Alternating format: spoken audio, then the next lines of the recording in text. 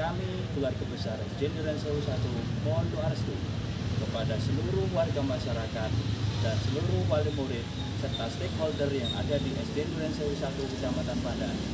Mohon doa restu kiranya upaya kami untuk menciptakan SDN Duren Sewu 1 menjadi sekolah adiwiyata bisa terlaksana dengan baik.